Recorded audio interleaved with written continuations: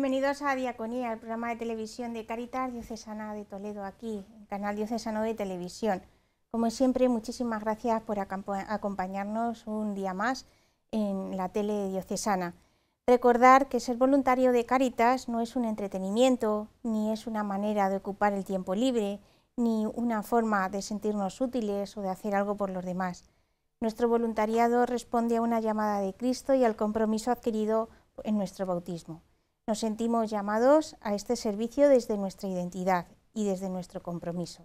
Y de voluntariado vamos a hablar hoy también aquí en, Diaconía. Los últimos programas de esta temporada, que ya nos quedan pocos, estarán dedicados al voluntariado, al voluntariado de, de Cáritas. Y hoy hablaremos con voluntarias de Cáritas Parroquial de Illescas. Y en la segunda parte, en la Escuela de Formación, pues vamos a seguir analizando el documento que presentamos la semana pasada de Benedicto XVI, un motu propio sobre el servicio de la caridad. Comenzamos.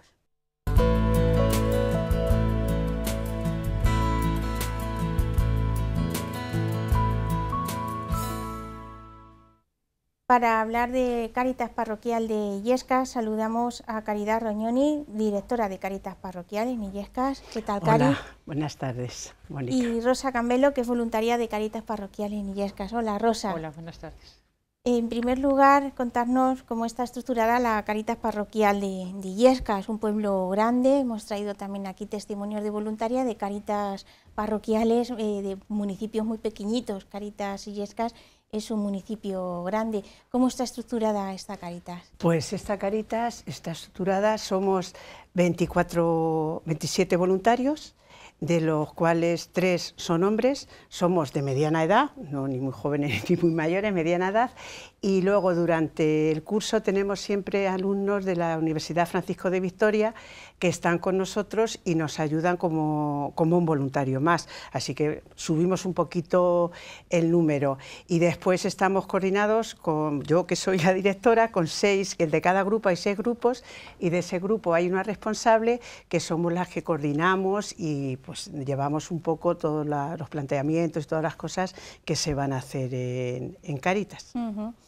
¿Cuántas personas atendéis? ¿Qué de procedencia? Pues mira, solemos atender mm, ahora mismo, lo que tenemos más son personas colombianas, la mayoría, un 38%, después de Perú, y luego un mínimo españolas que parece que hace como muy, muy raro, pero españoles tenemos muy, muy poquito y la mayoría, pues casi todos acaban de venir. Este año tenemos, hemos, hemos atendido en este tiempo 65 personas, 65 familias, 65, 67 familias y 192 personas. En lo que llevamos de, de, enero, muy poquito. ahora. El año pasado creo que fueron unas 98 familias. Sí, el año pasado fueron 98 familias y luego cuando más tuvimos más gente atendimos fue cuando, cuando el COVID, en la época de, COVID. ¿Cómo son los participantes que llegan a, Caritas Parroquial? El perfil ya nos ha dicho la nacionalidad principalmente, que, cuáles son sus necesidades, cómo son pues eh, lo que me dice Cari, la mayoría son latinoamericanos y claro, pues muchos vienen sin una, un arraigo familiar, ¿no? Vienen sin, sin nada, no, no, conocen a nadie. Entonces, pues el motivo de acercarse a Caritas, pues es les, ellos encuentran vamos, por lo que nos cuentan cuando van, ¿no? pues es nuestra, nuestra ayuda, nuestra escucha sobre todo, información, informarles de todo lo que, lo que nosotros podemos ofrecerles y sobre todo es esa escucha, ¿no? esa escucha en la que ellos pues, se sienten acogidos y, y la que así participamos. Y la verdad que, que, son, pues eso, la mayoría son familias con, con hijos y también muchos eh, pues que no tienen nada, o sea, incluso personas solas, entonces que no tienen ni siquiera pareja ni, familias, un poco pues a la aventura quizá, ¿no? Como tanta gente que, viene así. Eh, ¿Qué servicios presta Caritas Parroquial para atender a todas estas, a estas personas? Pues tenemos la acogida, que es lo principal. En este hay mm, tres grupos de voluntarias que atienden en acogida, hablan con ellas, porque lo que no queremos es que solo lleguen y vayan al economato, sino que primero se les hace una entrevista en Cáritas que no es una entrevista para ver si das o no das, sino para conocer, para que las voluntarias que están, son dos las que hacen la acogida, hablan con ellos y ya les dicen más o bueno, les dicen el día, hora y cita para el economato. Luego está el economato, que es la forma que tenemos para dar esos alimentos. Después hemos tenido durante dos años, hemos tenido talleres infantiles, digo, durante dos años no hemos tenido talleres infantiles por, la pandemia. por la pandemia, pero creemos, vamos, casi seguro que al año que viene volveremos otra vez. Después tenemos el servicio de orientación laboral, que este año ya se llevan atendidas a unas 18 personas, y después está los taller, el taller de agricultura, que es lo que, la forma con la que atendemos en Cáritas. Para llevar a cabo también un poco coordinar, aparte de estar tú, hay que decir que tenéis una trabajadora social, Cecilia, ¿no? Sí. Sí, Cecilia lleva con nosotros pues también muchísimos años ya. 12. Y 12 años. y la verdad que es muy buena ayuda, porque bueno, nosotros la mayoría de las voluntarias, voluntarios eh, somos de mediana edad, pero el tema ordenador y tal, pues que nos, complica mucho, o sea, no, llegamos al alcance y, aparte de ella, eh, proyectos, eh, pues, pues, todo lo que una trabajadora social conlleva, que viene en Caritas, una, un pueblo grande, que es casi ciudad, pues sí que es verdad que, hace falta una persona que dirija un poco pues esos, proyectos y todo lo que se elabora en, Caritas. No podríamos. No podríamos estar sin ella, es un punto muy muy importante en las caritas. Las caritas parroquiales de Illescas yo creo que sin trabajadora social no, no, podríamos, no podríamos estar. Porque tenéis también mucha coordinación con otras entidades que hay en Illescas y con el ayuntamiento. Que también... sí, tenemos coordinación con el ayuntamiento, con Cruz Roja y además muy bien, nosotros no tenemos ningún problema, todo lo que, vamos, que se, entre ellas se llaman, se habla, nos lo mandan con una hoja de derivación y bueno, y, muy bien, la verdad que Cecilia para eso vale un montón. Sí, estamos en coordinación con todos los servicios que hay en Illescas, la verdad que es importante también a la hora de poder gestionar pues toda clase de ayudas y es importante tener una conexión, no solamente eh, Caritas, sino pues eso, todos los organismos que... Estamos viendo imágenes de la inauguración del Economato. Ah, sí que justo se inauguró y el mes siguiente comenzó la, pandemia. Como que lleváis poco tiempo, por así decirlo, funcionando a pleno rendimiento. ¿Qué tal está funcionando este recurso? Caritas ya tiene 17 economatos, una apuesta que supone una inversión, pero que merece la pena, ¿no? La verdad que sí, porque es que nosotros lo inauguramos, me parece que fue el 17 de enero y el 14 se cerró Cáritas, se empezó a trabajar de, otra forma totalmente distinta, se atendió a muchísima gente, pero de otra manera diferente. Hemos tardado en ponerle en marcha por varios problemas, pero ahora la gente está, está encantada. Mira, puedo contar un caso del otro día, una señora que llegó y cuando entró por la puerta le dijeron que, que tenía 30 euros para gastar y se quedó así, dijo 30 euros, pero como asustada. Y le dijeron, no, no, que te puedes gastar 30 euros, no, aquí no pagas nada, que es un, dinero que simbólico, te simbólico.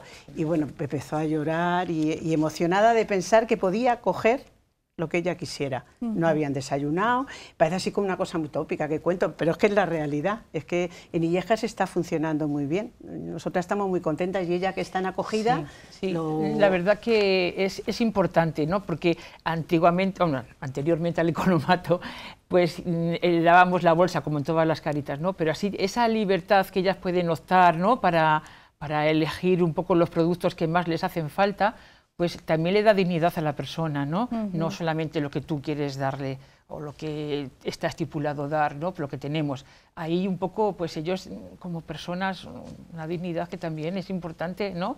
Porque, oye, vienen sin nada. Antes no te he dicho, pero sí que es verdad que, no tienen, la mayoría no tienen trabajo, claro, ninguno. Y, entonces también es verdad que es importante el tener, poder decir, pues hoy cojo champú y a lo mejor, ¿sabes? Higiene, es que todo eso es muy importante, no solamente la comida, la presencia física, la hora un trabajo y una serie de cosas, pues también es importante. Para mantener este economato, que supone una inversión económica, tenemos que contar que, pues, que en estas primeras comuniones que han empezado también ahora en Illescas están colaborando también compartiendo esta alegría a los niños de primera comunión, que me cuenta cómo lo estáis organizando y que ayudará pues también a compartir esa alegría con los más necesitados, cómo, cómo ha nacido esta iniciativa tan bonita. Pues la verdad que, bueno, que haría mejor más que yo, pero a, raíz de las catequistas. ¿eh? Eh, tenemos voluntarias que también son catequistas, entonces fue una idea estupenda eh, de, Sí, fue una idea buenísima. Una de Eva, Eva. fue la que La verdad que sí. que un impulso fuerte. Entonces, claro, pues solicitar a las madres, a través de los niños de primera comunión, alimentos para Caritas, para el economato. Y fenomenal, ¿eh? Ideal. O sea, en cada tanda, colaborando. hay que contarlo, hay unos 200 para la primera comunión. en cada tanda de niños van entregando alimentos, Sí, sí, y además que, que, sí, que yo creo que lo deben de llevar todos, porque cuando lo recogemos, pues oye, cada día, el sábado que recogimos todo lo de la iglesia de San Pedro, el voluntario que lo recogió me decía, ¿y esto solo de un día? Digo, no, hombre, tampoco es eso, vienen todos los días, pero muy bien, la verdad que ha sido una, una idea fenomenal, porque además llegamos a otra gente diferente, porque siempre estamos mm, pidiendo, pidiendo a las mismas personas, y de esta forma, y además también los niños se conciencian, hoy por ejemplo me ha llamado una voluntaria antigua de talleres para decirme que había una niña que había hecho la comunión, que iba a dar parte de los regalos, de su dinero, lo iba a entregar a Caritas. Es decir, que ella si ha llevado su cosa, su comida a Caritas, pues oye, mira, ha compartido, va a compartir su, regalo, la mitad de lo que le han dado, lo va a compartir con nosotros. Así que es fenomenal. Muy bien, ha sido una, idea. Forma de evangelizar también. También, que llega la caridad se concreta también en estos gestos. Pues eh, ya en los últimos minutos siempre queda la parte del testimonio personal, que eso no está muy puesto en el guion. Voy a empezar por Rosa porque, Rosa, tú fuiste también directora de, de, Caritas. Antes de Cari estuviste, estuviste tú, también viviste pues, también un poco los arranques de, esta Caritas, ¿no? Sí, eh, todo el cambio que, tenemos ahora en Caritas, la verdad que, lo hicimos cuando yo entré de dirección, en la dirección, y bueno, pues fueron años duros, sinceramente, pero muy gratificantes porque eh, Caritas eh, te, llena, te, hablándolo las dos, porque la verdad que, bueno, aparte de eso, somos amigas y, bueno, tenemos muy, muy buena relación. Yo a Cari, cuando era directora, me la llevaba siempre a todas las cosas para que ella pudiera ir para que cogiera onda. y, bueno, y es, así ha demostrado que es una buena directora. Y entonces, pues, mm, pues esos cambios, claro, llegó, entonces sí que es verdad que a veces, pues, mm, pues te superan ciertas cosas, pero pero bueno, que con la ayuda de, Dios y, lo que yo te iba a decir, perdonar, es que se me ha ido un poco, y que hablándolo con ella, es Caritas es un estilo de vida. O sea, eh, tienen que, somos personas y tenemos fallos, pero tienen que ver en nosotras un estilo de vida cristiana. ¿Eh? que, no solamente las personas que vayan a Cáritas, sino en tu vida, en tu vida normal, ¿no? el día a día. Eso es muy importante. Yo es que tengo la, la, suerte de, mi suegra, yo he sido, ella fue voluntaria siempre, muchos, muchos años, y yo la veía siempre feliz, contenta, una mujer buenísima. Yo dije, Dios mío, esto, esto tiene que darlo Cáritas. Y entonces, bueno, yo cuando me lo propusieron, encantada, encantada, la verdad. Estuve de, directora ocho, ocho años, dos, dos candidaturas y bueno, y la verdad que tenía niños pequeños y bueno, sí que es verdad que fue un poco duro, pero muy gratificante, muy bien. Y el cambio, pues sí que costó, porque eran unas caritas totalmente distintas a las que tenemos ahora. todo con pero ahora sí, ahora es una bendición de Dios, porque sí, muy bien, muy bien. ¿Y Cari, qué supone para ti tu voluntariado, en este caso, pues también siendo cabeza con el párroco, con don Eugenio, el equipo también de, de voluntarias que tienes alrededor? ¿Qué pues supone esta esta entrega? Pues para mí, como ha dicho Rosa, y no repetirme, pero es un estilo de vida, un cambio totalmente de, mi vida, de cómo yo he podido vivir antes de estar en Caritas. Yo llegué a Caritas por Rosa, sinceramente, además yo estaba en Manos Unidas, pero a mí me gusta más el trato, la gente, tocarla, vivir con las personas. Entonces llegué a Caritas por medio de ella y a partir de ahí mi forma de ser, de vivir, de vivir yo misma, mi, pues, mi oración, mi todo, es a través de Caritas y a mí me da, me enfado mucho porque me enfado, soy de, también. no es fácil. tengo carácter y alguna vez me enfado, pero luego pido perdón y digo, ay, perdonadme, si es que yo quiero todo perfecto y en el momento. Pero un cambio de vida es que yo nada más que puedo decir que soy diferente. Mi familia me lo, no es solo mis hijos, mis hermanos, toda mi familia me dicen, es que eres distinta. Tu hermano también es director de Caritas. Claro, sí, mi hermano de, de Tenerife. De Tenerife, sí. Nos viene un poco ahí la, en la sangre también. Yo, mi padre ha sido una persona que, bueno, pues también se ha dedicado mucho a las personas. He visto en él siempre que para él ha sido más importante el que estaba enfrente de él. Y bueno, lo he mamado, lo he vivido y luego Dios que está ahí me dijo, Cari, te toca. y ahí estoy hasta que, hasta que me echen, que ya creo que va a ser pronto, porque ya me tengo que ir. Todavía queda tiempo. Todavía, todavía puede esperar. Bueno, pues nos quedamos ya sin tiempo. Eh, Rosa, Cari, muchísimas gracias por venir. Gracias también a, pues, a todas las voluntarias de, y voluntarios de Caritas Parroquial, que en este caso hay tres hombres y muchísimas gracias por vuestro testimonio. También anunciar, porque no nos da tiempo, que habrá Semana de la Caridad, que el día 2 de junio estará el delegado episcopal de Caritas Española, Vicente Martín, en, en Illescas, y que estén atentos pues también a esta casa y a, y a las redes sociales. Seguimos.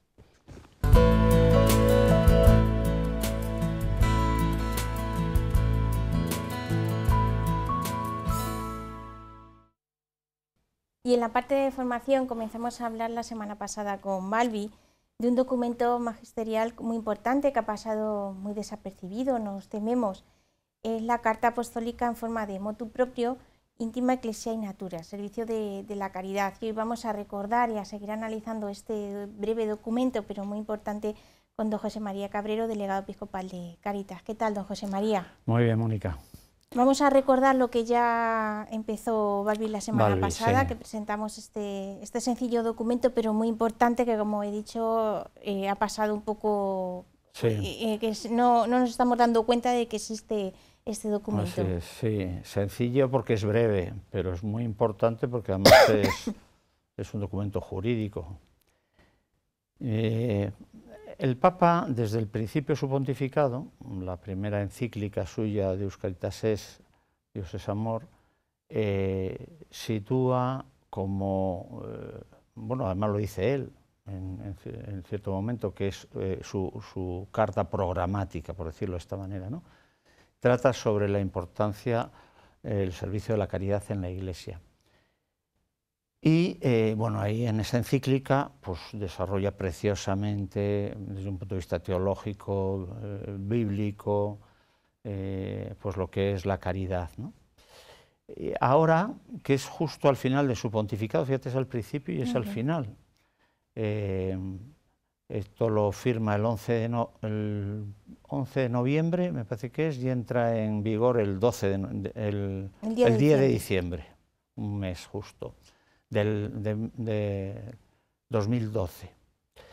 Pues al final eh, publica este motu propio, que quiere decir por, propia iniciativa. No es un documento que el Papa eh, redacte, escriba y nos dé a la Iglesia porque se lo pide pues, un sínodo de obispos, etc., ¿no?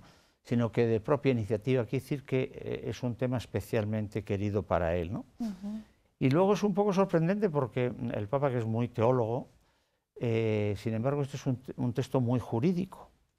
Quiere decir que eh, eh, le da una importancia también, digamos, canónica. Nos recuerda, enlazando con encíclica, la encíclica a la que aludí antes, que la Iglesia tiene un, un triple servicio, ¿no?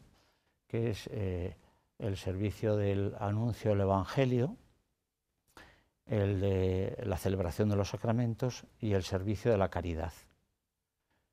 Eh, eso pertenece a la eh, esencia íntima de la Iglesia, por eso mm, ese título, ¿no? Eso pertenece a la Iglesia. También, por supuesto, el servicio de la caridad. Y recuerda cómo en el Código de Derecho Canónico, si bien aparecen expresados en cánones eh, el papel que tienen que desarrollar los obispos con respecto a la evangelización, al anuncio de la palabra y, al, eh, a los sacramentos, a la celebración de los sacramentos, no aparecen en el Código de Derecho Canónico que para que los televidentes sepan, pues es el código por el que nos regimos en la Iglesia, igual que hay un código civil, pues hay un código eh, eclesiástico, canónico, pues recuerda que no hay eh, contemplado, no se contempla cánones específicos del obispo, de los obispos, además con un matiz eh, interesante, él no habla de los ordinarios del lugar, del ordinario del lugar, ¿no? Eh, sino que habla del obispo diocesano una y otra vez. Y bueno, ¿eso qué, diferencia existe? Se preguntarán algunos, ¿no? El, obispo, mm, bueno, pues ya sabemos todos lo que es un obispo, ¿no? Que el que tiene la plenitud del sacramento del orden. El ordinario del lugar es aquel que recibe una potestad del obispo, eh, vicaria, pues un vicario general, puede ser un vicario territorial, eh, que ejerce en nombre del, obispo y es, una, potestad eh, verdadera. El, Papa siempre alude al obispo, porque, entre otras cosas, porque eh, el, obispo es de, institución divina, es decir, Jesucristo ha constituido la Iglesia sobre la columna vertebral es o son los obispos, los sucesores de los apóstoles, el Papa Pedro los apóstoles, Papa y los obispos. Entonces quiere que ellos asuman eh, las responsabilidades, en el buen sentido de la palabra, que les competen. Pero eso de proporcionar un marco normativo orgánico que sirva para ordenar mejor en línea general las distintas formas eclesiales organizadas del servicio de la caridad, como dice el motu propio, eh, no mata la espontaneidad del amor. Esta pregunta yo creo que ya la planteamos también al principio en, esta mm. formación, si no es esta temporada, en la anterior. Sí, bueno, eso es una, una disquisición, diríamos así, que eh, se hace muchas veces, ¿no? Eh, como que la jerarquía se opone al carisma. Es muy protestante la iglesia jerárquica como que eh, ahoga eh, el, carisma, ¿no? la espontaneidad del carisma.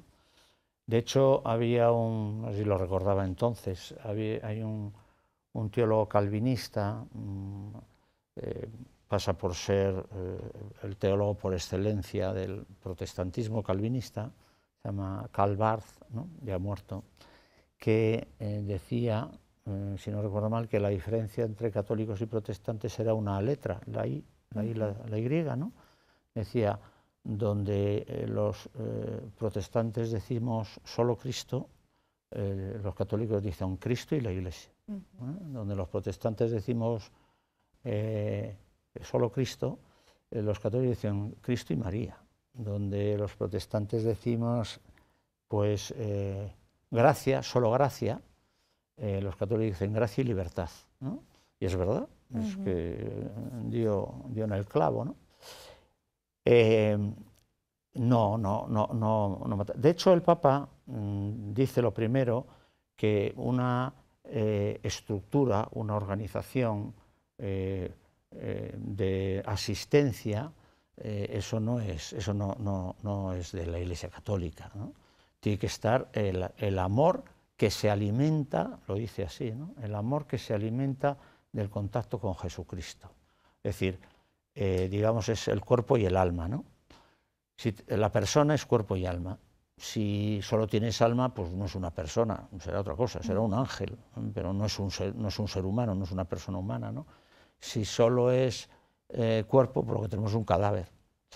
Entonces, una, eh, una, una, no podemos llamarla caridad, una eh, beneficencia sin espíritu, sin caridad, pues mm, es una filantropía y eso no es la Iglesia Católica. ¿no?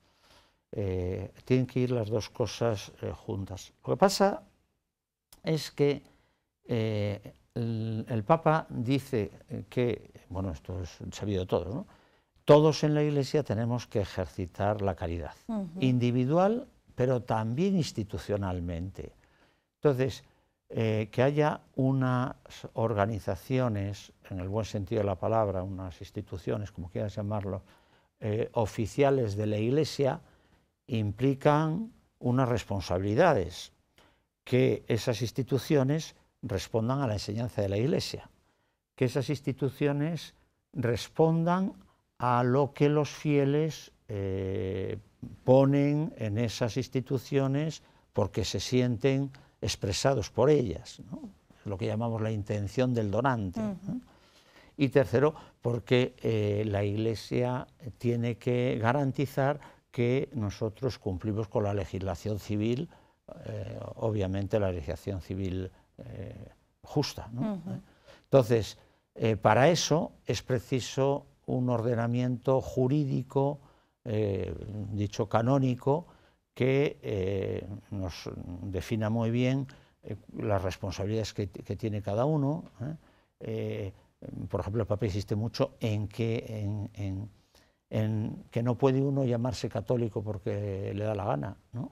tiene que cumplir con unos ciertos requisitos, requisitos para que la autoridad eclesiástica le autorice el, nombre de, el uso del nombre de católico. ¿no? Entonces, eh, diríamos mm, jerarquía y carisma, eh, por lo tanto, institución y, gracia. Y, ¿Y algunas disposiciones esenciales que presenta este documento, cuáles son? Sí, bueno, pues vamos a, coger el documento a la mano, ¿no?